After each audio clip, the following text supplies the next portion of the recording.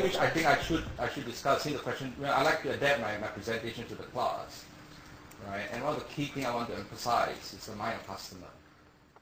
Okay, now this is uh, right. This is actually my lecture notes from for my master's course engineers, right? Of course, related to SCM, right? Okay, now most important, right? I believe that right to charge premium it should be pulled, not pushed, right? So you find that uh, the key is really interaction to generate this pull from customers. And of course, customer only pull for goods and services if he or she is satisfied. So satisfaction is the key. Alright? Then of course, very importantly, is how do you quantify satisfaction? Well, the style is different, but it's, it's just lecturing student MBA, so less of this colorful graphics, but key points. Customer satisfaction is on realization, less expectation. Right? So the goods itself, right? There are two of course, the customer and the product. Now, customers are likely to be higher when they become involved in the process of designing the product. This is extremely important. A lot of time, company and say, look, we know better. We, we tell you. They don't sell. They tell. Oh, you don't know. You tell you exactly what is good for you. You don't ask much. But designing involving the customer has a psychological ownership effect.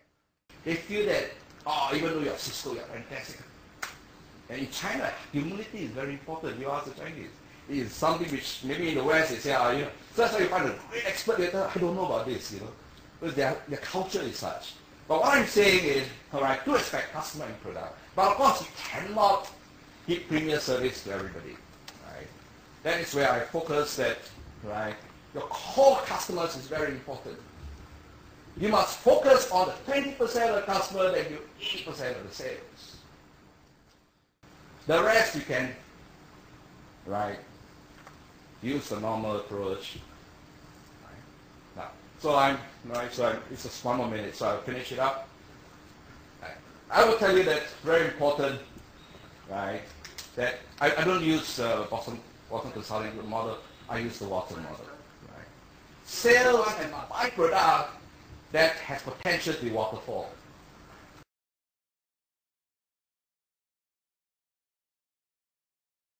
Right. Avoid the longkang. We call it a Hokkien, you know, because longkang is drain water product.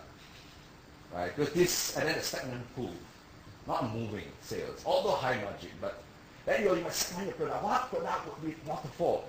Right? So this is where you manage two aspects of it. Whole customer care, involving customer, where you apply a psychology, a sexiness, a lot of you know, customer. They feel that you know the car is designed by them. That's what what Mercedes-Benz does in the US. Mercedes-Benz produces maybe 300 Mercedes. Two of them are identical. The rest are designed by the customers. Right?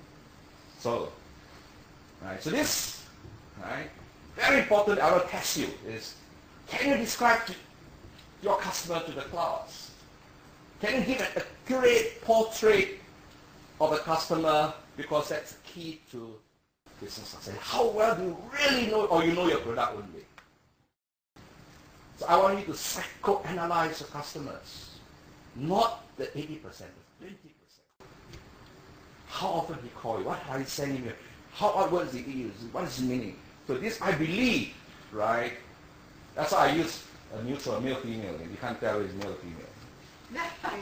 uh, it's an American female.